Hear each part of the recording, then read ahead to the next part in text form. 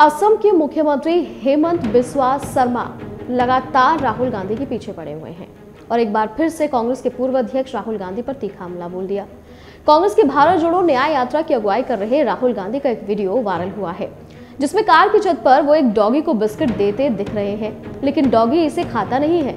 इसके बाद वो इस बिस्किट को पास में खड़े एक व्यक्ति को दे देते हैं। इस पर असम के मुख्यमंत्री ने कहा कि मुझे भी राहुल गांधी ही नहीं, बल्कि उनके पूरे परिवार ने बिस्किट खिलाने की कोशिश की, लेकिन खिला नहीं सके।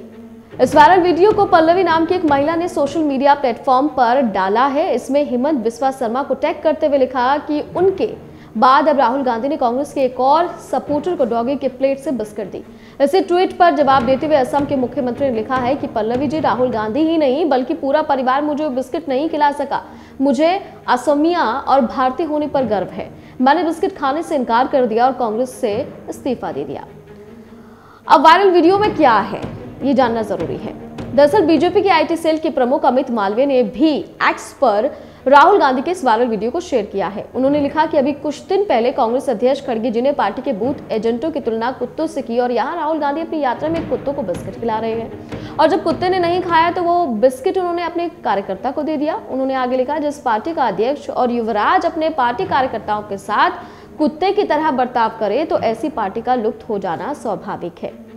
अब इस पर किरण रिजिजू ने भी निशाना साध दिया है। वीडियो तेज़ी के साथ वायरल हो रहा है। किरण रिजिजू ने भी प्रतिक्रिया दी। उन्होंने अमित मालवे की ओर से शेयर किए गए वीडियो को शेयर करते हुए लिखा, किसे दोष तू सुविधा संपन्न परिवार की मानसिकता की या उन लोगों को जो स्वयं अपमान सहते हुए अपने युवराज के सामने नतमस्तक होते रहे हैं। हेमंत बिस्वा शर्मा ने भी राहुल गांधी पर आरोप लगाए थे। बता दें कि असम के वर्तमान मुख्यमंत्री हेमंत बिस्वा शर्मा ने जुलाई 2014 में कांग्रेस से इस्तीफा दे दिया था और बीजेपी में शामिल हो गए थे। उन्होंने आरोप लगाया था कि कांग्रेस में रहते हुए असम के मामलों पर बात करने के लिए जब वो दिल्ली में राहुल गांधी के आवास पर उनसे मिले तो राहुल अपने डॉगी को बिस्किट खिला रहे थे और वही बिस्किट उन्हें भी खाने के लिए दिया था। इसी वजह से उन्होंने पार्टी छोड़ दी थी। अब सच्चाई क्या है, वीडियो देखें और इस पूरे प्रोग्राम को देखें और खुद ही डिसाइड कर लें कि इसमें क्या वाकई राहुल गांधी ऐसा कर रहे हैं या फिर महज ये मानसिकता है और राहुल गांधी को टारगेट करने की कोशिश हो रही है।